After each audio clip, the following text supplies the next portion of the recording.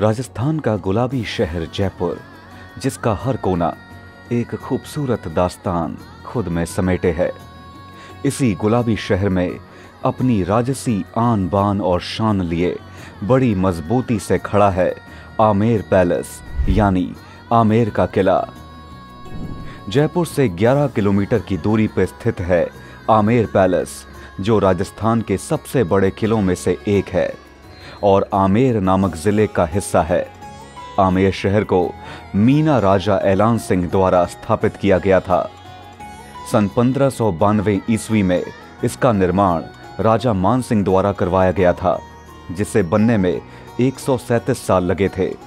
ऐसा भी कहते हैं कि इसका नाम भगवान शिव के नाम अंबिकेश्वर पर पड़ा है, और कुछ लोगों का यह भी मानना है कि इसका नाम देवी के अंबा नाम पर पड़ा। इस किले के चार हिस्से हैं, जिनमें अंदर आने के लिए अलग अलग दरवाजे हैं और मुख्य द्वार का नाम है सूरज पोल, आमेर किला, जिसका दरअसल नाम अंबर किला है, के सबसे खास हिस्सों में एक है दीवाने आम, जहाँ राजा अपने प्रजाजनों की शिकायतों और फरियादों को सुना करते थे और उनकी समस्याओं का समाधान करते थे। और अब रुख करते हैं आमेर पैलेस के सबसे खूबसूरत हिस्से की ओर। दीवाने खास, या फिर कहें तो शीश महल। शीश महल का निर्माण राजा जय सिंह ने 1621 से सोलह के दौरान करवाया था। प्राचीन समय में महारानियों को खुले में सोने की सुविधा नहीं थी, लेकिन उनकी इच्छा थी कि वो सोते वक्त तारों की छांव का आनंद ले सकें। और उनका दीदार कर सकें। नतीजतन, राजा ने अपने वास्तुकार को एक ऐसा महल बनाने को कहा, जो इस समस्या का समाधान निकाल सके। शीश महल में जलाई गई महज एक मोमबत्ती पूरे शीश महल को रोशन कर देती है। आमेर का ये किला पौराणिक समय में निर्मित हिंदू और राजपूताना शैली में बना हुआ है। दीवाने खास का निर्माण, राजा के खास मेहमानों और दूसरे शासकों और राजदूतों से मिलने के उद्देश्य से भी किया गया था। आमेर के किले को 2013 में यूनेस्को विश्व धरोहर की सूची में भी शामिल किया गया है।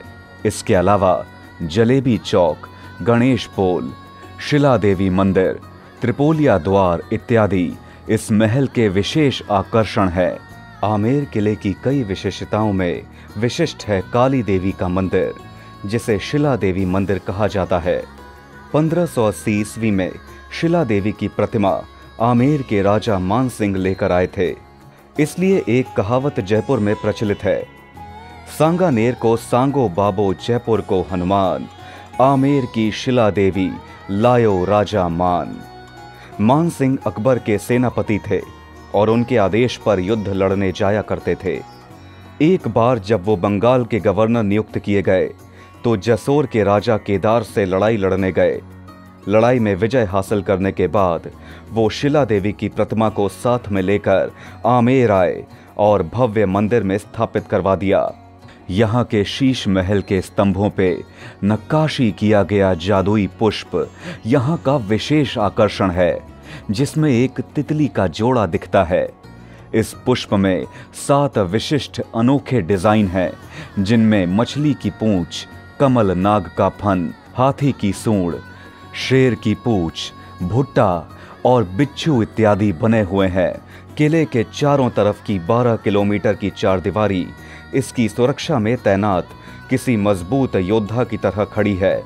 27 कचहरी आमेर का एक विशेष अधिशासिक केंद्र था, जिसमें 27 कार्यालय हुआ करते थे, जिसमें सामान्य और व्यापारी वर्ग के लोग अपनी समस्याओं के निस्तारण के लिए आया करते थे।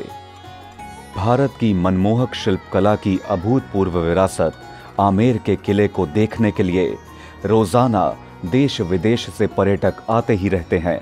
ऐसी ही खूबसूरत जगहों की जानकारी प्राप्त करने के लिए अभी सब्सक्राइब करें हमारे चैनल भारत माता को।